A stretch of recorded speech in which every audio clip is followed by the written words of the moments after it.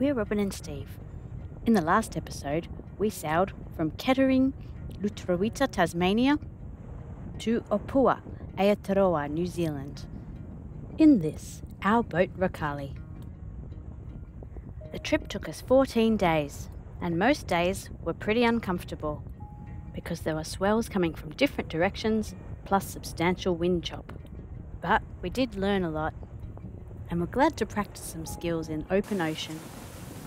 We took turns doing three hour watches, unless someone had to climb on deck, in which case we'd both be awake. For instance, here, I've let out the sail and Steve is putting in the third reef. We also got practice heaving to. It's like going into a tack in slow motion until the sails are backed and the ship is balanced to slow down and create a slick that takes the power out of the waves. Notice how smooth it is this side compared to the other side.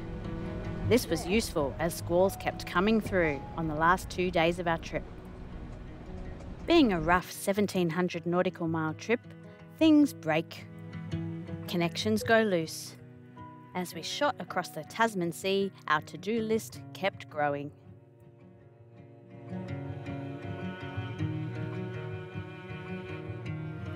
Sitting on a boat on waters five kilometres deep became our new normal.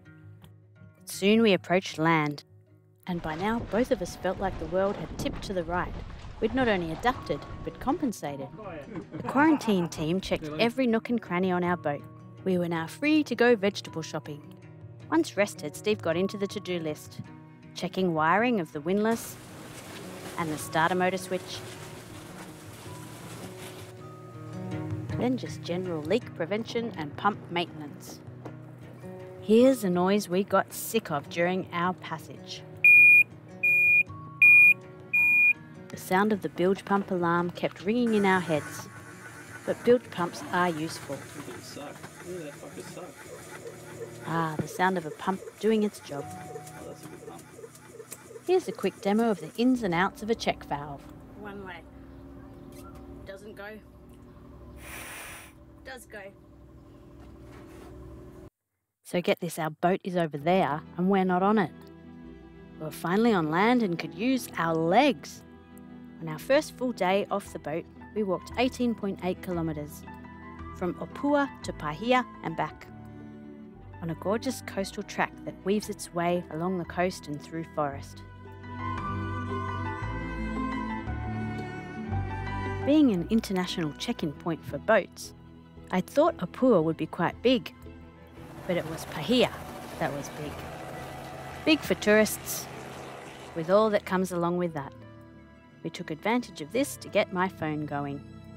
Over a meal on a table that didn't tip. A trip to the public toilet in Paihia is a celebration, and so it should be.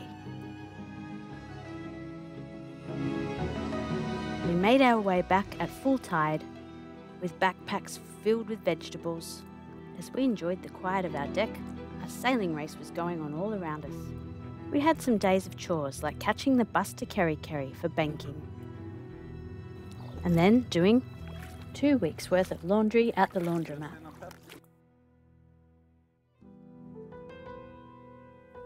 And then we were ready to explore once we'd topped up with diesel and fresh water. We weren't the only ones going to Russell. We paddled in from one side, and cruise ship guests were boated in from the other. We pulled out our kayak just beyond the boat club and then met this eel before taking some back streets to Russell. Kororareka was an important port for the Maori and later for the Europeans. This is the Flagstaff, as is often the case when Europeans decide to increase their territory, they stuff up. In this case, the Maori fought back and won. A lot has changed since then, but it was well worth the climb to check out the view and to imagine how it once was. Now things got difficult. So many islands to choose from.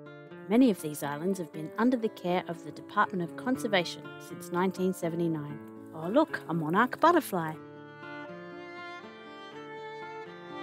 This area's wildlife is making a comeback. We're on Motuarohia Island. one of seven islands of the eastern Bay of Islands that have been pest mammal free since 2009. The short, steep walk to the lookout is gorgeous. We were intrigued to take the underwater snorkel trail, but arrived at low tide, so this was a good chance to get our bearings. When we returned to our boat, there was actually a Mayday relay going on.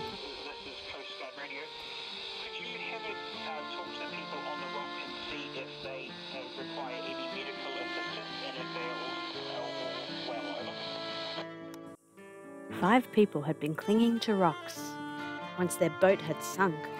Thankfully, all were safe and we could enjoy the sunset. And once again, be thankful that our boat floats. In the morning, we paddled ashore. When we went ashore, we met a family of oyster catchers. Found the lagoon where we were to snorkel.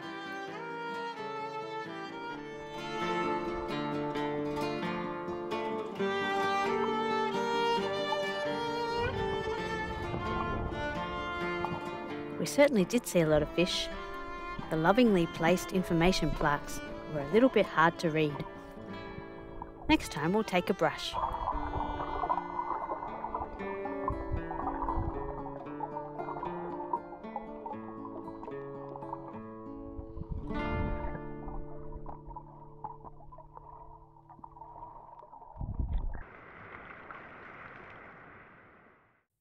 Another day, another island.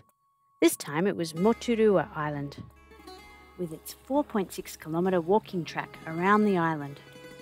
After being at sea level for so long, albeit a bumpy sea, the ups and downs of this track were just what we needed. This beautiful view is from atop a World War II defence structure, built on top of a Maori defensive lookout, or PA,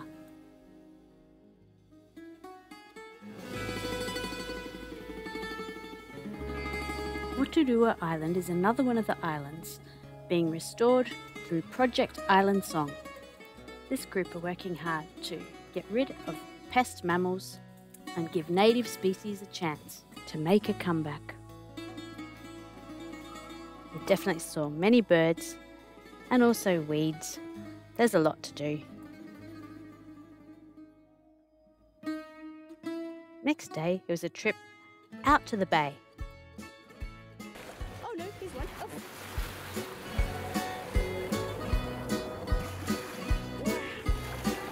These dolphins were massive.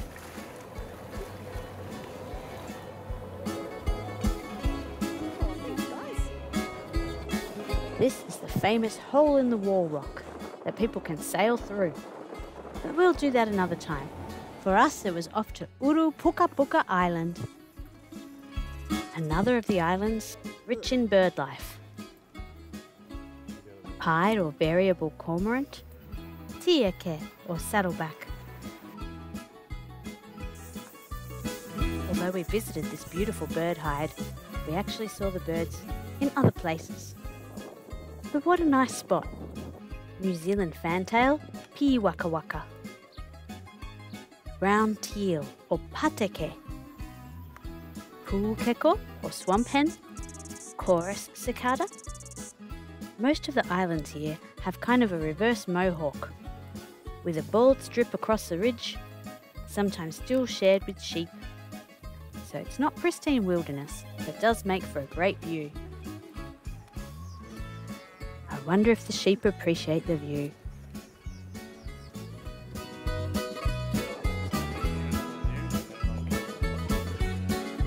The walking tracks on Urupukapuka Island go high and low.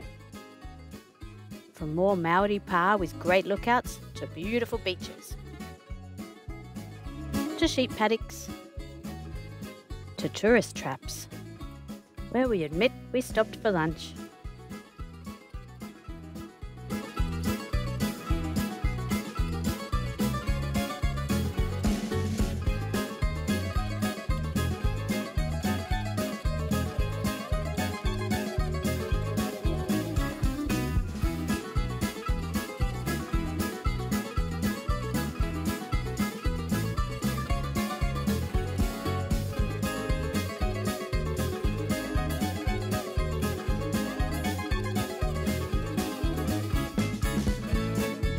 Up here, we could see where we'd arrived in New Zealand, what seems ages ago now, and have a look at what we've not yet explored. Before returning to our humble boat. It's not that humble, but it's all relative.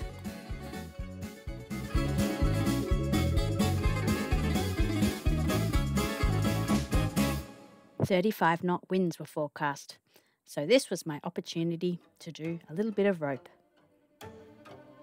First practice since leaving Australia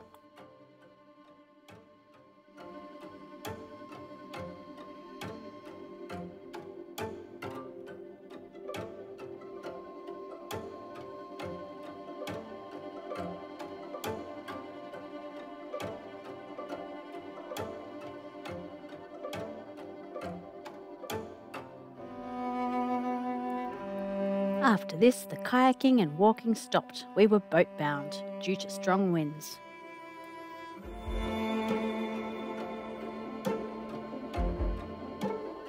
But we'd had a thorough look at this island.